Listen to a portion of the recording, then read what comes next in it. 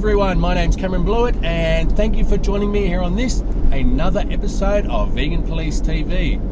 Uh, this episode, I'm going to be talking briefly about the uh, the, the, the, ban for, of greyhound racing, or what people are claiming to be a ban on greyhound racing in New South Wales.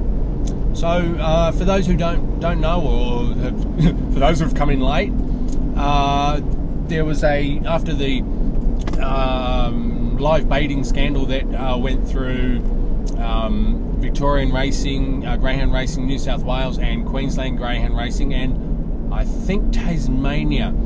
Uh, there was uh, inquiries and all that sort of gafuffle that, that, went on, and the New South Wales Premier Mike Baird, Baird, Bard, Baird, has uh, decided that uh, greyhound racing is, you know, isn't something that the state is willing to accept anymore, and, especially with behaviour. Now, uh, legislation was drafted and passed recently by both houses of Parliament in New South Wales uh, to ban greyhound racing. Now, greyhound racing is going to become illegal, or the uh, legal protections will be removed from it on the 1st of January uh, next year, 2000. Uh, sorry, 1st of July, 2017. Now, that also includes the, uh, the, the training of dogs for the purposes of greyhound racing, uh, whether the racing takes place in uh, New South Wales or in, or, or, in, or, outside of New South Wales. So uh, that means that you won't be able to uh, send your greyhounds to uh, to New South Wales to get trained by a trainer and all that sort of stuff. So now the thing with that though is is that there was a lot of um, public and political pressure on the ban not to go ahead.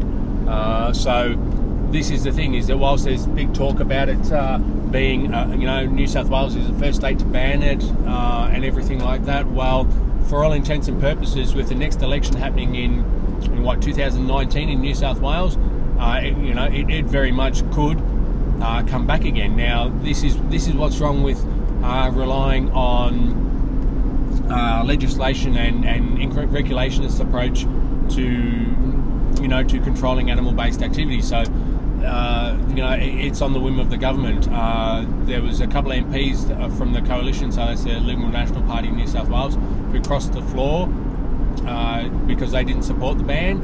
Uh, so, uh, what's to happen? So, I mean, next, let's you know, let's say hypothetically in 2019 the Labor Party wins. they have obviously they have a majority that they would need to form government in the lower house you know, who's to say that they might not be able to uh, do a, a, few deals uh, with, you know, a couple of MLCs or a couple of upper house members and the legislation gets passed and then greyhound racing is reinstated. So, you know, it, it's not something that everyone should be getting excited about saying, oh, you know, it's been banned and, and this and that. Well, yeah, it's happened and it might only happen for two years, it might happen for three years and then it's reinstated and the whole lot of uh, BS starts again. So, uh, who really knows? Uh, you know, what's going to happen in other states? Well, I can't imagine many other states following suit, uh, especially not Queensland, because Queensland's got the uh, the one house of parliament, so it's a unicameral system where pretty much the the premier is the dictator of Queensland. Uh, she decides what goes, what legislation gets passed, and uh,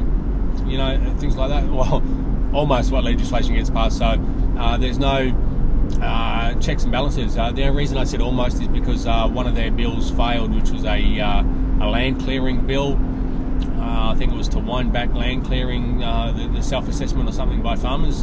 and that's another thing that, that's interesting as well, relying on farmers to self assess. Now, I'm not saying farmers are um, inherently evil or anything like that.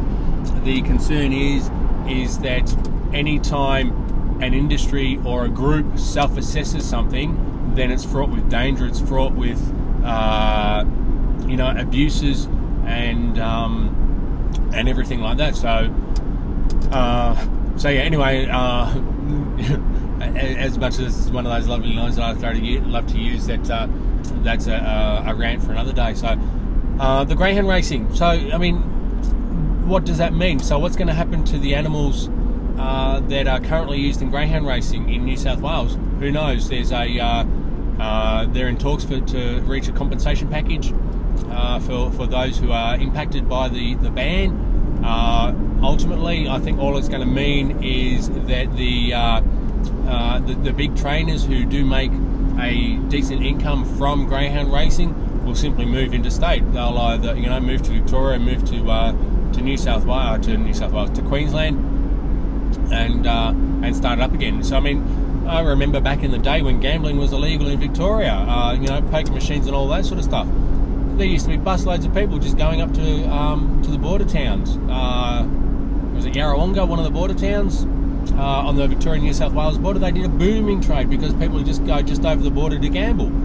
Uh, so uh, that's the thing is that you know, it, it, it, just so much stuff for me because it's politics.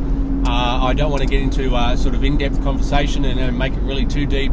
Uh, that, that's just going to turn people off. Uh, and so, from, from the perspective that I am of, of equal consideration and sort of uh, having a rights-based approach, that the, the problem with this and, and the problem that's going to be faced is that now, whilst the uh, the lefties and the watermelons and all that are, are, using this as a test case and saying, "Hey, this is what we can do to uh, you know to, to get rid of uh, other industries and all that sort of stuff," well, uh, greyhound racing will come back because there's the, the the people that go to it haven't been convinced that it's not something that they should support. So, uh, you know, if you want to kill greyhound racing and, and do it without legislation, and so it's going to be gone forever uh, you need to get the people to stop going there because that's how they survive. Is that they survive by people gambling. Uh, you know, can remove the, the, the, gambling protection of it, um, and and make it something that they can't gamble on. Uh, there probably wouldn't be many people in greyhound racing after that for the, for the reason that uh, there's no money to be made on it. The other thing is that uh, you know people are still going to uh, to want to go to it because that you know the, the, gambling is they have that little flutter and they think that hey you know they might you know hit the big one with the, the little flutter on it or it gives them a bit more spending money or um, a bit more pocket money and all that sort of stuff. So uh, that's the thing is that for all these groups and all these people that, that want greyhound racing banned they haven't presented an alternative to the people who are you know the public that are going there. Yeah it's fine to to target the trainers and that's what's happened is that you know as with all industries, no matter how rife the, the sort of abuse and um, you know disgraceful treatment has been within greyhound racing, it's easy for the industry to turn around and say, "Oh, it's just a few bad apples." And unfortunately, Joe Public believes it because they, you know, we've, we've got uh, sort of the inherent belief in, in Australia of, of uh, you know always going for the underdog and, and having that. Uh,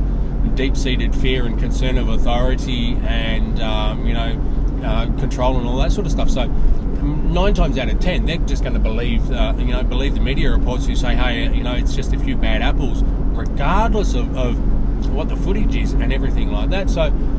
Uh, this is the thing, yeah. To, to, to end greyhound racing, you need to present something, an alternative that is family entertainment where they can go in, they can have a relax, they can have a bit of a flutter on something, uh, if that's what you know floats their boat and all that sort of stuff. So, um, what will achieve that?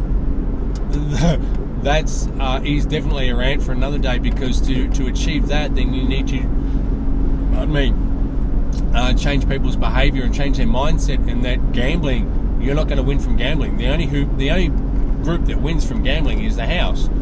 Uh, because gambling is always stacked against the punter's favour. Uh, yet you know, so few punters actually want to understand that.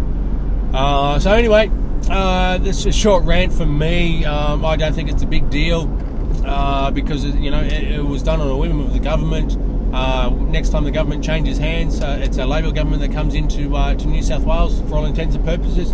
The legislation could change back again, especially if they they have a more um, a more compliant upper house. So uh, you know, only time will tell whether it's uh, whether it's going to stay in New South Wales. So, anyway, this was my short rant. Thank you for watching. Thumbs up, thumbs down, subscribe, like, comments, all that sort of good stuff below.